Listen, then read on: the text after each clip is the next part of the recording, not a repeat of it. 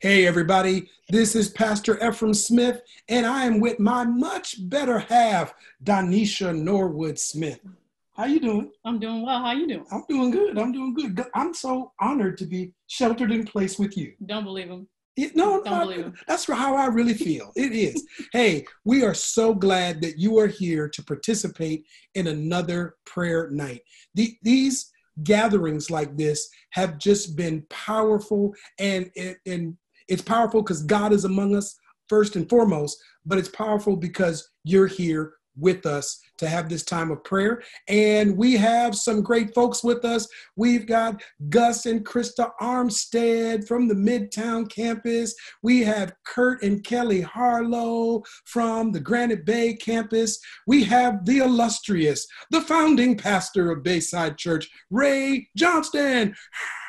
Okay, and then we also have Amy Bangs, who is with us. And uh, I, I, think I covered everybody that's with us, uh, that's going to be with us tonight. And it's just going to be a great time to be with you and to be in prayer. Before I open us up with a prayer to get into the prayer, I want to read a text from Galatians chapter 3, verse 28. Galatians 3, verse 28 says, There is neither Jew nor Gentile neither slave nor free, nor is there male and female, for you are all one in Christ Jesus. You know, this text is not saying we're ignoring who we are by gender, by ethnicity. Uh, th- those things matter. Uh, but what it's saying is they're not barriers. They're not barriers. Our, our distinctives are not walls. And you know what? Like never before in this online format, We've been gathering as a multi ethnic, multicultural, Christ centered, multi campus church online. And so uh, I, am really believing that once we are back in an on site mode, we are not going to lose this spirit of this just diverse gathering of our community like this online. So let me pray for us. Dear God, in this season we find ourselves in. Lord, we pray that we would experience you in a significant way. That in this online way of gathering as your church, we get to experience the diversity that you've blessed us with in this church.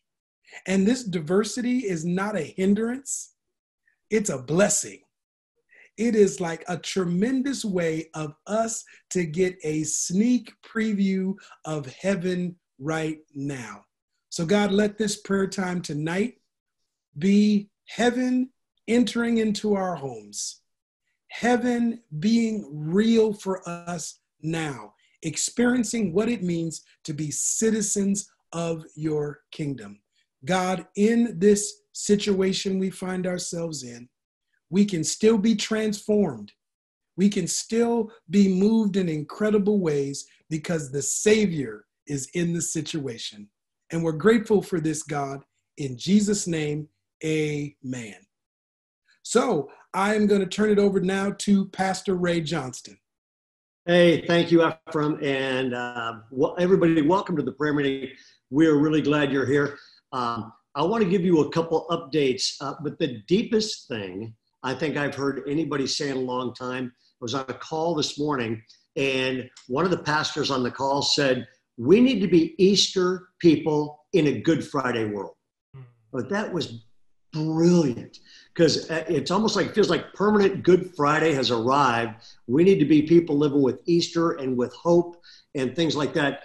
And um, and so I actually wanted to say there are some Easter like things happening through churches all over the place. Um, you know, for example, um, our, just on our Midtown campus, they have already fed over 6,000 people. Okay. Um, 150 people a day, effort, it might be above that. 150 people a day are getting hot showers there, which basically keeps them cleansed. I mean, it's just an amazing thing going on there. Um, the medical community. Um, Kurt and Kelly, you're one of the construction sites. Um, so far, people have made way over 4,000 masks and given those to folks. Um, matter of fact, in Folsom Prison, we have Bayside is in Folsom Prison on the men's side and the women's side. in Folsom Prison on the women's side, they actually, this is historic, never happened before. They they brought in 10 sewing machines, and these women in the Folsom prison are sewing masks for healthcare workers to save lives.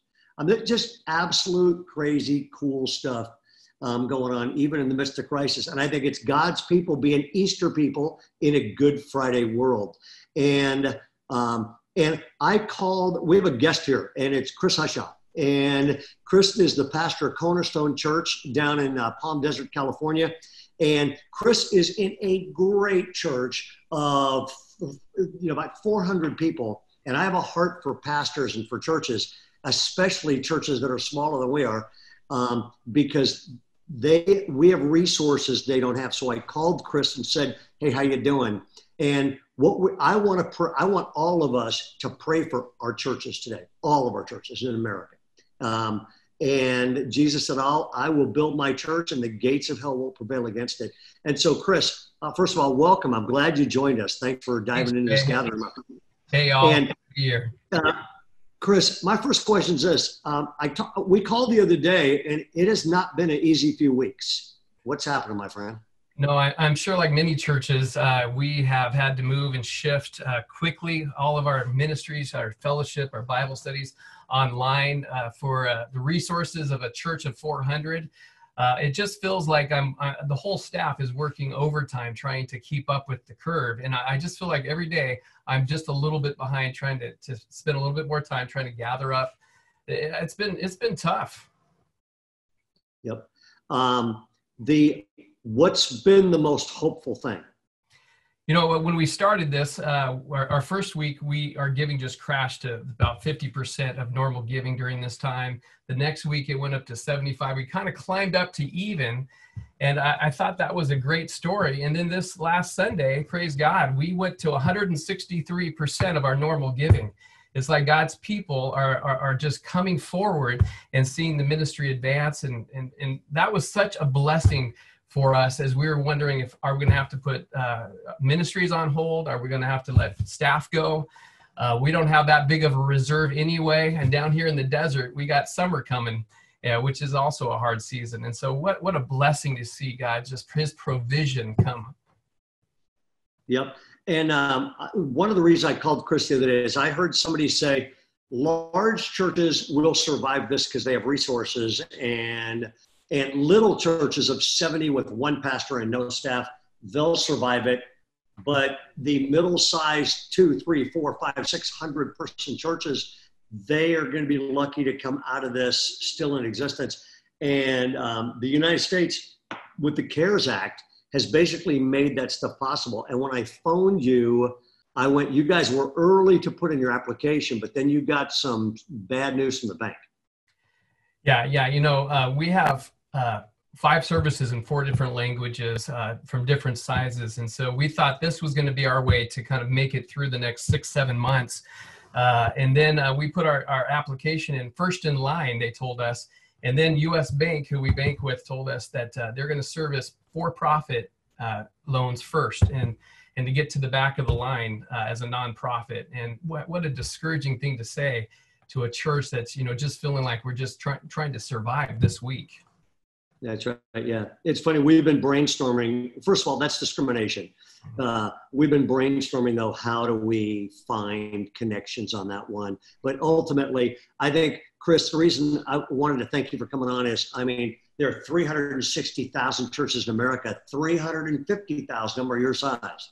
And, and I think we need to pray for the future. And Chris, you don't know this, but um, I asked your son to come online with us and pray for you and for your church and for churches like it. And so, Christian, if you can turn on your camera and join us. Hey, welcome, my friend. Hey, hey. So, and those of you who don't know, this uh, Chris Hushaw is the pastor at Cornerstone. Christian is the worship leader at one of our churches. And hey, anything you want to say to your dad? And then would you pray for your dad and for his church and for other churches?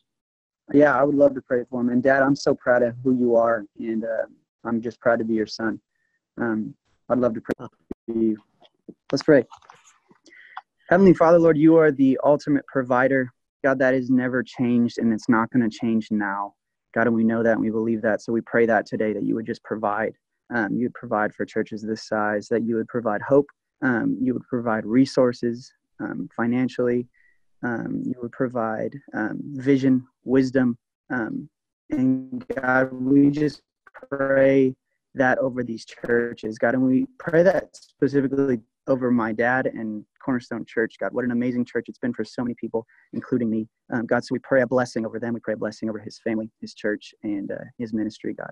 Lord, we love you. We pray this in the powerful name of Jesus. And everyone said virtually online together. Amen. Amen. Amen. Amen. Love you, Christian. Christian, thank you, my friend. Hey, love you. Thanks for having me on. Love you, Dad. Love you. I just think, after I'll be back to you folks, we have got to keep our churches prayed for, supported, pastors encouraged. I mean, they're the people strengthening people on the inside so that they can handle it. So, John, who's who's next? We'll come back to Ephraim. Yeah, Amy Banks for healthcare. Hi, Amy. Okay. Hi. you know, I don't know um, when you guys asked me to come and pray for healthcare. I don't know if you know, but I'm an I'm an RN myself, and so obviously the healthcare um, community is super close to my heart. And um, I haven't been working in the hospital in some time, but I was thinking about back when I was back in nursing school and learning so much about Florence Nightingale, who was this iconic wartime nurse who was on the battle lines during, during the Crimean War. And there's a quote that she says it says, How very little can be done under the spirit of fear. And I thought to myself as we were going to just pray tonight for the healthcare community, how important it is to not just pray for protection, but to also pray for courage, that they wouldn't operate under that spirit of fear. And um, it says in Psalm 121, 7 through 8, the Lord will keep them from all harm. He will watch over their life. The Lord will watch over your coming and your going, both now and forevermore. And so many of us aren't coming and going very many places. and we forget about those that are coming and going a lot. They're coming and going to and from their healthcare facilities. They're coming and going to and from the hospital. And so um, we just want to pray protection over them, pray protection over their families, and their coming and going. And that they would just um, be able to do what God has called them to do with courage and that they wouldn't um, have that spirit of fear. So let's pray. God, we come before you tonight, dear Lord, and we lift up, dear God, these healthcare workers, dear Lord, that are on the front lines of all of this, God.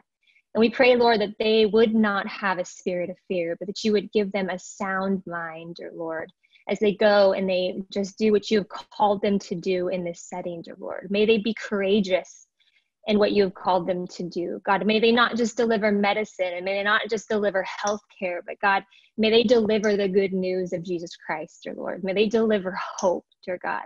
May they deliver so much to people that are in such a time of need. We ask that your protection would be upon them, that your protection would be upon their coming and their going. As they go into their healthcare facilities, as they go into their places of work, dear God, we ask, dear Lord, that you would surround them with your protection. May they be untouched in this time, dear God. May they come home then, dear God, and may their families be untouched during this time. We ask that you would go before them, that you would go beside them, and that you would go behind them that you would give them the wisdom that they need to do what you have called them to do, that you would give them the courage to do what you have called them to do. And we ask, our God, that your blessing and your favor would fall upon them, God. That everything that they put their hands to in Jesus' name would be blessed. The people they come in contact with, the patients they care for, God. May the blessing of God be extended through them, dear God, as they take care of these people. And those healthcare workers that don't know you, we pray for them, dear God. We pray on their behalf, dear Lord. They may not know to call out to you, but God, we call out to you on their behalf that your protection would be around them, that they would you would surround them during this time. God, we thank you, dear Lord, that you are in every detail of our life. God, you are always with us. You are with us in all things, and you are with us at all times. And so, God, we just cover, dear Lord, our healthcare workers tonight in your precious name. Amen. Amen. Amen. Thanks. Amen. Thanks, Amy. And now we have. Back. Yes, thank you. so, uh, well, I'm back. See, can't keep me out of prayer. Tell you that right now. Can't shut me out of prayer. Come on, Ephraim. so uh, Kurt and Kelly Harlow are going to pray for church leaders everywhere tonight. Thank you, Ephraim. Uh, you know, I just want to say it's Wednesday while you're watching this. Maybe you're watching a few days after, whatever, but pastors are already worried about Sunday. And man, I want to tell you, we've prayed for the medical people, we've prayed for the businesses.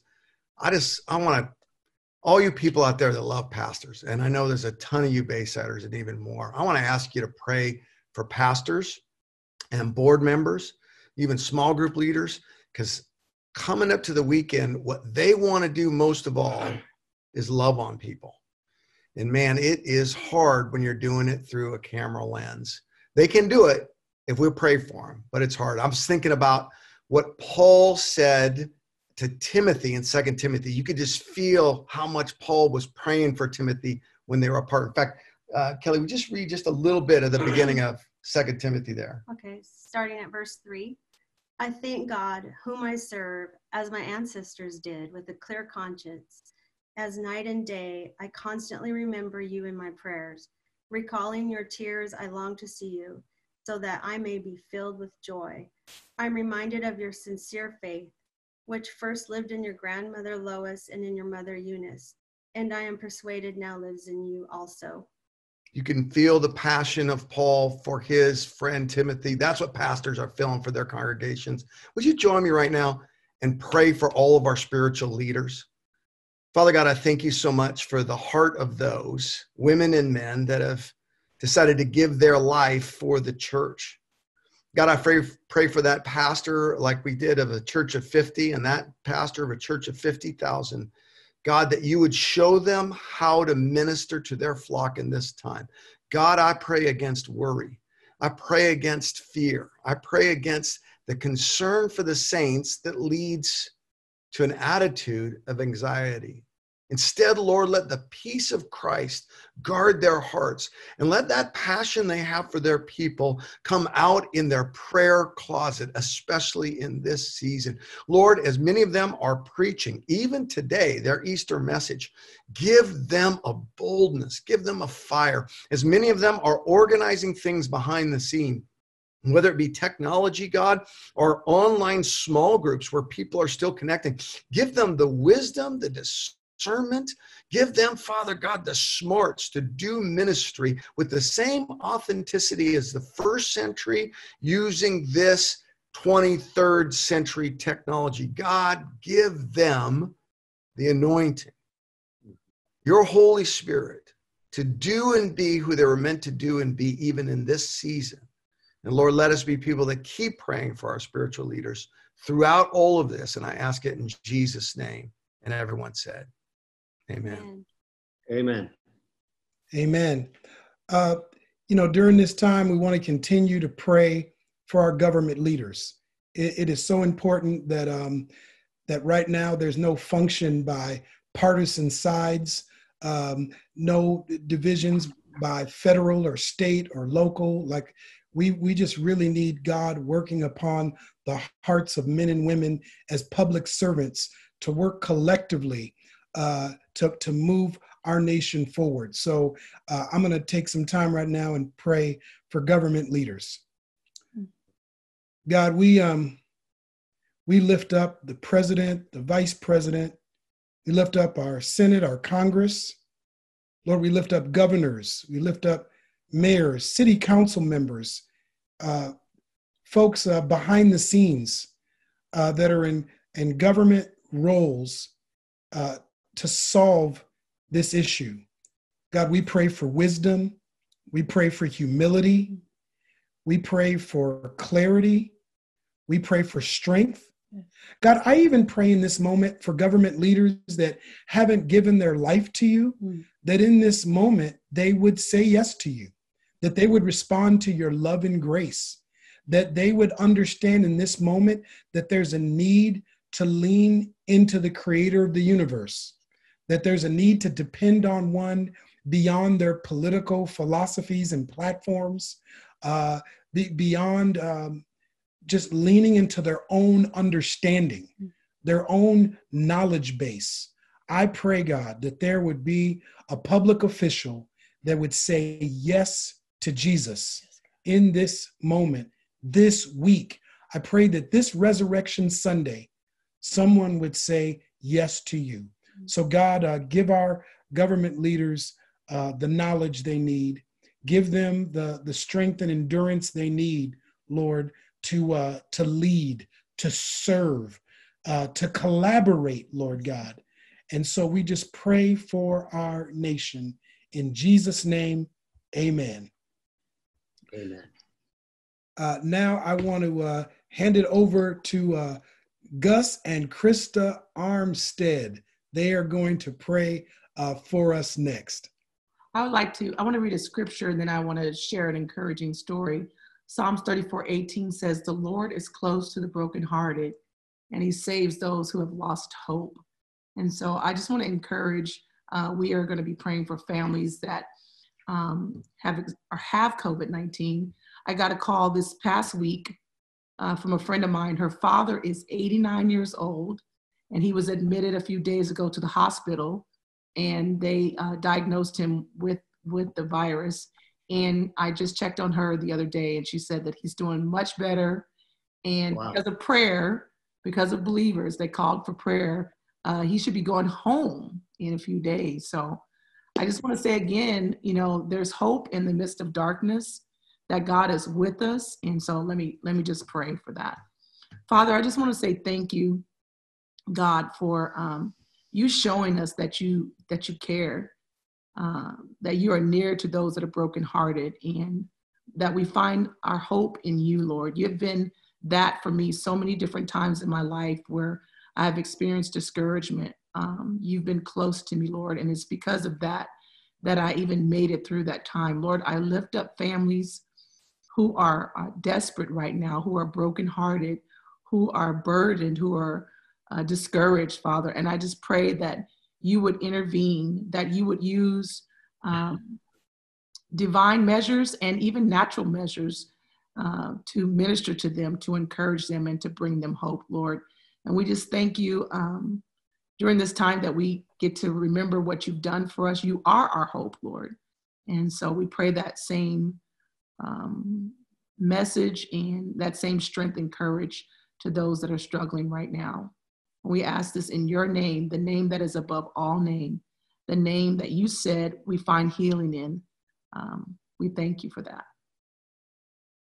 God, God, we lift up the families that uh, have lost their family members through mm-hmm. this virus, and uh, we pray that you would encourage their hearts, mm-hmm. that you would uh, comfort them. God, all over this world uh, where this virus has been affecting and, and taking lives, God, we pray mm-hmm. because some of these families aren't even able to say a proper goodbye. Mm-hmm. And God, we pray that you would just touch their hearts and that uh, that you would just give them some comfort. Uh, God, we we pray for those that are even separated uh, because of the virus and can't even see their families. And uh, we just pray, God, that your spirit would, would, would move, that it would move during these uncertain times. Mm-hmm. But during times like these, we need a savior. Mm-hmm. And we pray that uh, Jesus Christ, our savior, would uh, be so uh, evident and so visible in all of these challenges that we're, that we're facing, mm-hmm. and that someone would come to know and understand and get to know Christ in a very real way. Mm-hmm. So, God, we lift you up. We thank you for who you are, and we thank you for being with us during these times. And we give you all the glory, the honor, and the praise. In Jesus' name, amen. Amen. Amen. Amen. Amen. Thanks, Armsteads. Man, you know, I almost want to pray that God would bless me with the praying voice that Gus Armstead has. That's got to be the coolest. I wish I had I could pray like like that. I just don't have it in my tonsils. But uh, is Chris Hushaw still? Uh, is he still on, Pastor Chris Hushaw? Yes, I'm here. Okay, I'm going to ask you to close us in prayer in just a few minutes. But before we have uh, the closing prayer, I just want to remind everybody of two things. Hey, Resurrection Sunday is coming this weekend, and there's a couple of things we would love for you to join us on. One is we are having the very first time in the history of Bayside Church the Good Friday service, the online Good Friday gathering. First time in history there's ever been a Good Friday, good God, Good Friday online service, and we want you to be a part of it. It's going to be at noon and 7 p.m. Uh, the best way to know the times and everything is download the Bayside app. Follow us on Instagram. Follow us on Facebook. You can follow any campus you want. You can follow every single campus. And also, uh, you can go online, baysideonline.com, and you can find out about our Good Friday service. We really want you to be a part. And then this weekend is our Easter services. And so, again, through the Bayside app, through baysideonline.com, you click on any campus you want. You know, I would just, I would check out Easter from like three or four different Bayside campuses this weekend. I would just, just do it. Just come on, spend the weekend with us.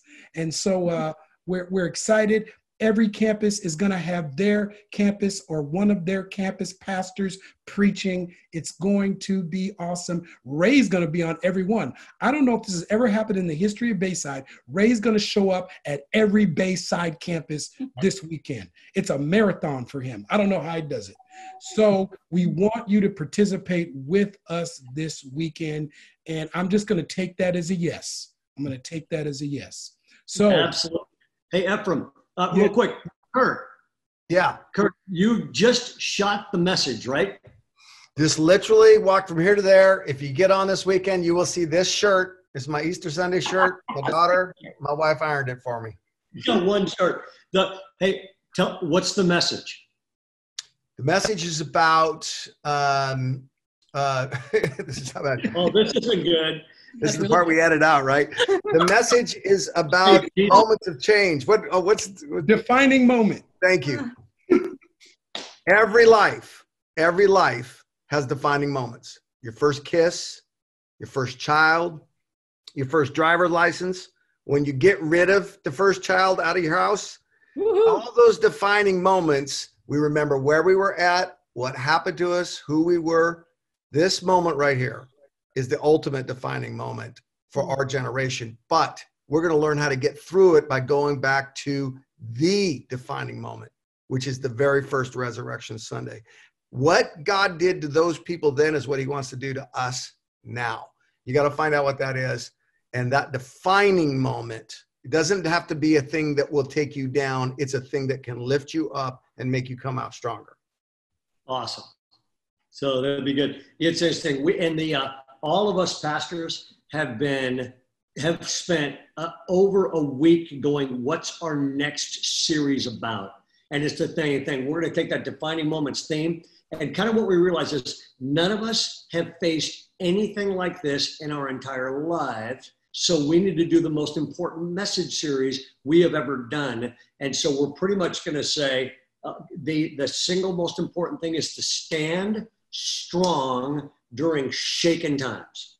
Because people are going to come out of this developed and deepened or destroyed and it's all going to be what's going on in the inside of everybody. So we're going to unleash week after week one thing the bible says to build into your lives into your family. If you'll build those things in straight out of the bible then you will have a future and a hope. And if you don't build these things in you're empty on the inside which means fear and anxiety and all that stuff's going to rush in so really really huge deal so Ephraim, should we have Chris Hushaw say anything you want in close? That sounds great to me. Let's do Me it. too. Chris. Chris, take us home. I just want to thank uh, Ray and for your leadership, for the whole staff for Bayside. Your reach is incredible. The anointing and the blessing that I feel 500 miles away by not by knowing that we're in this together, we're walking through this together, and I'm not alone. My congregation is not alone. Thank you for the blessing. Let's pray together. Heavenly Father, you're bigger than anything. Uh, you, you you you have us in your arms. You're you're moving us forward. It's Friday, but Sunday's coming, and we see the Easter. We see the resurrection, the power of the resurrection coming in the great light of this dark moment. Lord, we just give ourselves to you. We remember you in that that last evening with your disciples as you had shared a meal and as you've washed their feet as a servant, and then you said to them, "I just want you to remember this one thing." uh, you're to abide, you're, you're to cling on, you're to hold on. Uh, be the branches to the vine. All you need to do is hold on, and I'm going to give you fruit. Lord, we pray that your blessing would be poured out on every church across America, across this world right now. Your blessings would be poured out in such a way that the light of Easter would shine brightly in the darkness of Friday. Uh, Lord, we want to. We, we, we can't wait to see what you have for us ahead. The fruit is coming to the branches as we abide in you. We pray this in the name of the Father, the Son, and the Holy Spirit. Amen. Amen. Amen. Amen. Amen. So thank y'all for joining us. And uh, we'll be back here again next Wednesday, 7 p.m. But before that, we're going to see you on Good Friday and we're going to see you on Easter weekend. God bless you. We love you. God bless you. Bye, everybody. Bye.